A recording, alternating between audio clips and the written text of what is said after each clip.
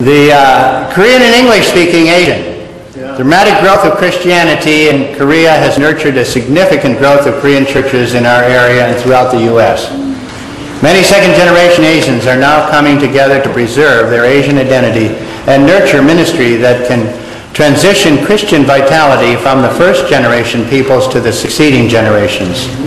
Soong-Chan Rah will now give us a brief focus on this critical need for all people groups uh, in this connection. Excuse me.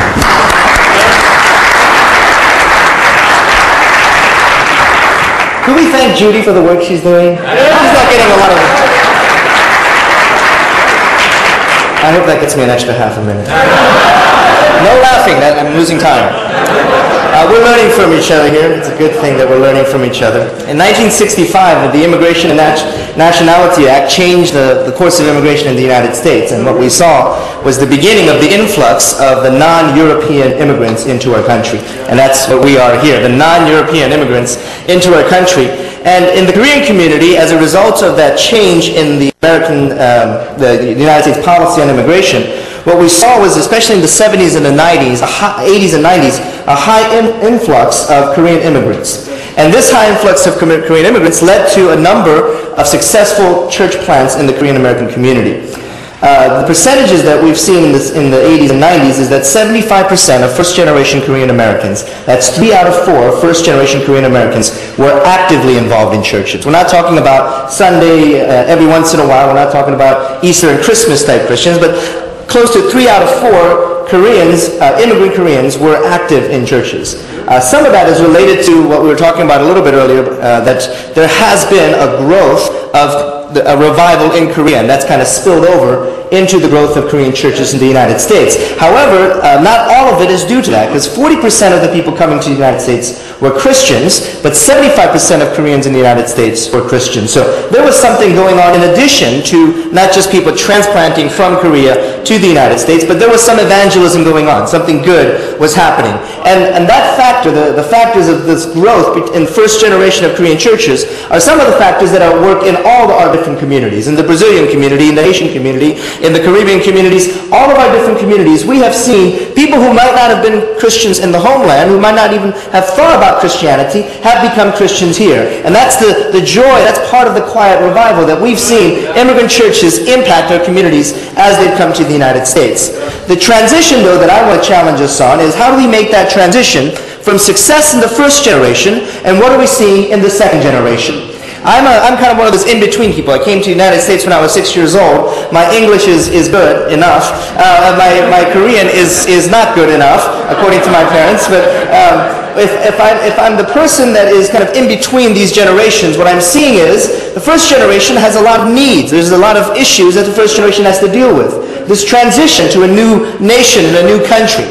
Uh, but what happens in the process of that is the second generation going to get lost. Are your children going to be in church a generation from now? In the Korean community, and actually, actually in the larger Asian American community, what we have found is that there is a significant drop-off in second-generation Asians from their parents. So if the parents are attending uh, churches, 75% of Koreans are in churches in the first generation. The second generation numbers are significantly lower than that. A, a phrase has been uh, a term, and that's called the silent exodus, because the children of immigrants are leaving in significant numbers, and we don't know where they're going. We thought at first they were going to white churches, but we looked and they weren't there. We thought at first they were going to other places. We looked and they weren't there. So where did they go? It's been a silent exodus in the Asian community where second generation English-speaking Asian, the children of these successful immigrant churches are disappearing. And those of you here who are in these wonderful, successful first generation churches, your concern is what, what happens to our children. What happens to our children? Are they going to have this silent exodus? Are they going to disappear, go away to college, or go away to a different part of the country, and never set foot in a church again? Is that, that's a very much a concern for every immigrant group here. In your, in your booklet there, there's a, uh, an outline about four or five different models of ministry that, that we have seen in Boston, four or five different ways that we have seen this transition from first to second generation. And there are these different ways that we can approach uh, reaching the second generation for, of, of the immigrant, uh, of, the, of the immigrants. Uh, but I want to talk some about the challenges because these are things that we, we need to be concerned about. As we make this transition, uh, we're getting a, a crisis situation. And, and some of you have already seen this, where your children are disappearing. Your children are no longer in the church. This is a crisis situation, but crisis is also an opportunity. An opportunity for God to do something magnificent and spectacular and amazing in the midst of us. And that's what I think Pastor Ron Stevens was talking about. Something spectacular that crosses the cultures, that crosses the different immigrant groups. God's doing something a, on a kind of a common level in our immigrant churches, but God, I think, wants to do something on a common level in the second generation churches as well. Here's the challenge for us then. The way I look at it was that in World War II there was a, a battle that was raging the forces of good, if we're going to put it in these terms, unfortunately, but the forces of good were the Allied forces that needed to, to come against the forces of evil in, in Nazi Germany.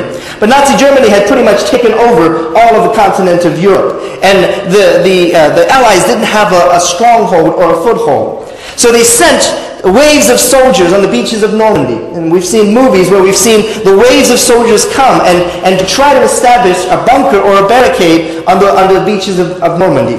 And we know that, that many, many lives were lost because this was the brutalest of all battles in World War II. Many lives were lost on the beaches of Normandy. But it was in that bunker, that first establishment of that bunker, that gave us the strength to move on and to take the next battle. The first generation immigrant church were those who died on the beaches or are dying on the beaches of Normandy. Many of you here have sacrificed your lives, you've given your heart, you've given of your lives so that your children can take the next stage in battle. And I want to thank you as one of your children. Thank you for the ways you have died on the battle lines for us. You came to this country, you sacrificed much, and you built a bunker so that we had a safe place. And now it becomes the responsibility of the second generation to go and take the next battle for us. For you.